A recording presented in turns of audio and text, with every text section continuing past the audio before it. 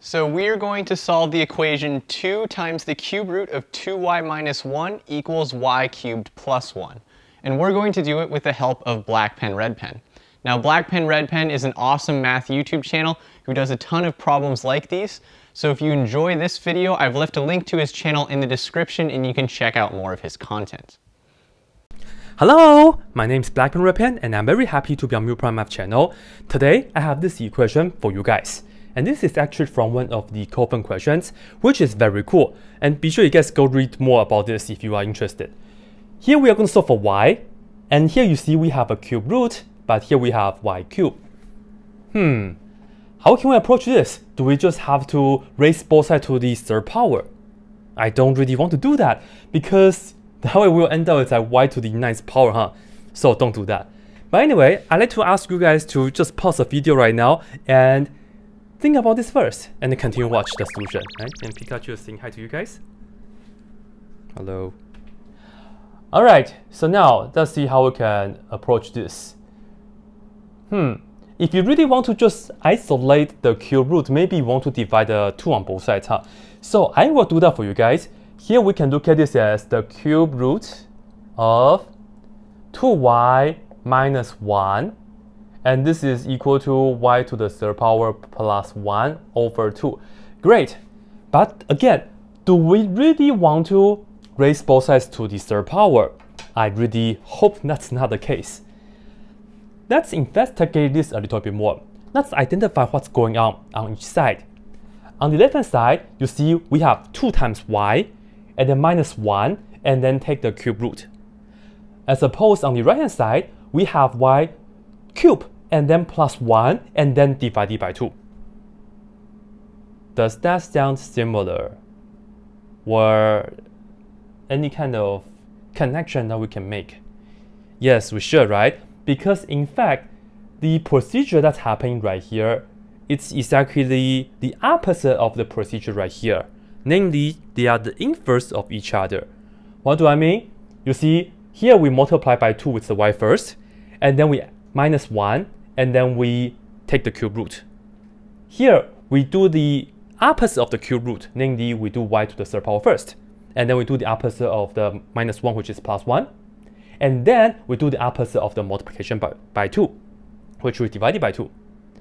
So this right here, if you notice that, in fact, we can reduce this tremendously. Have a look on the right-hand side right here. Suppose we have a function, let me just call that to be f, right? So let's say I will give you a graph Let's say this is how the graph look like for f.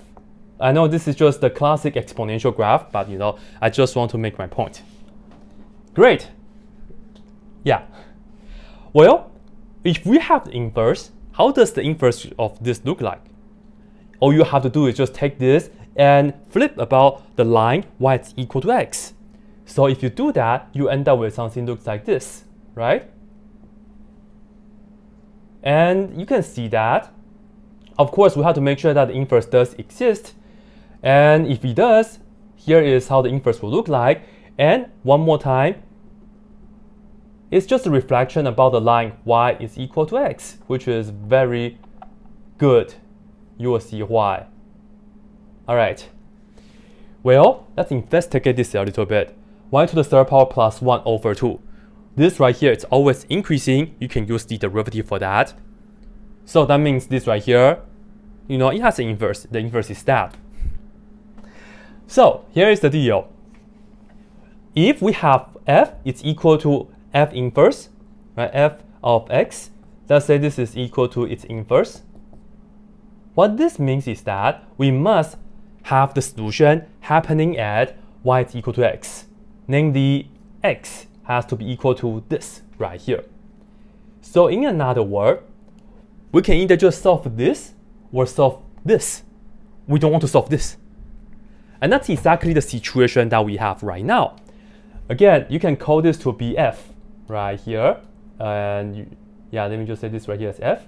And you can just say this right here is the f inverse or the other way around. Doesn't matter. Depends on which one that you define to be the original.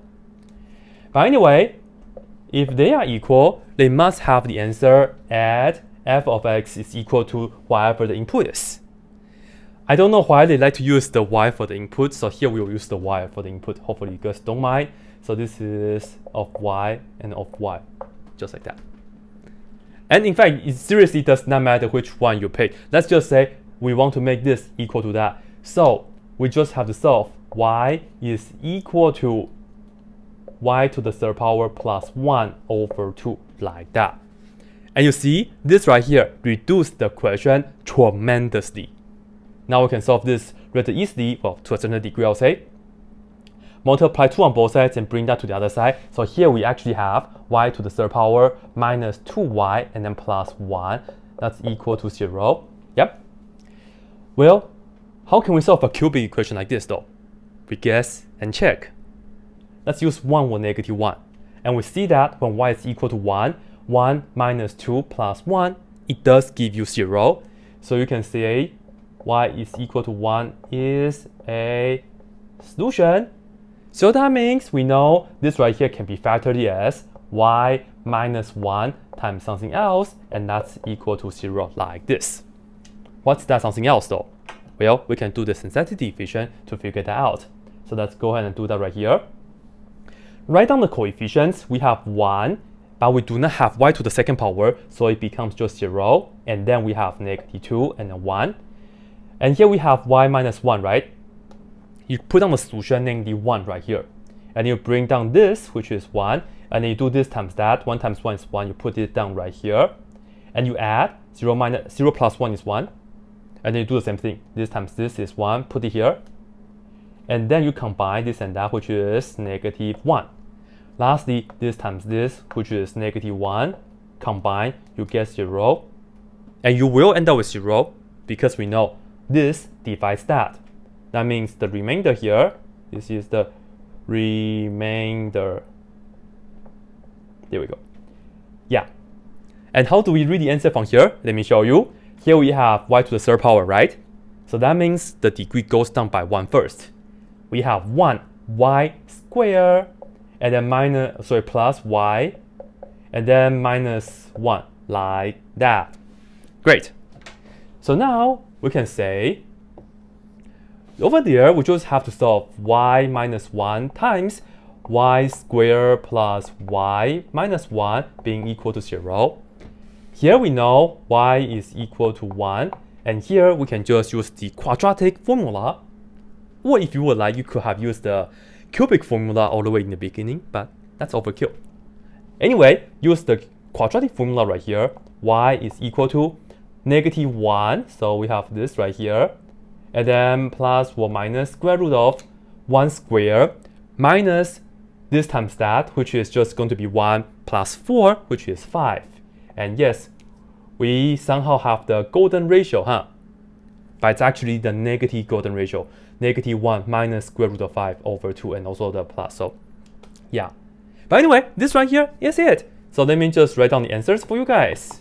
Answers we have, let me just write down y is equal to 1, y is equal to negative 1 plus or minus square root of 5 all over 2, like this.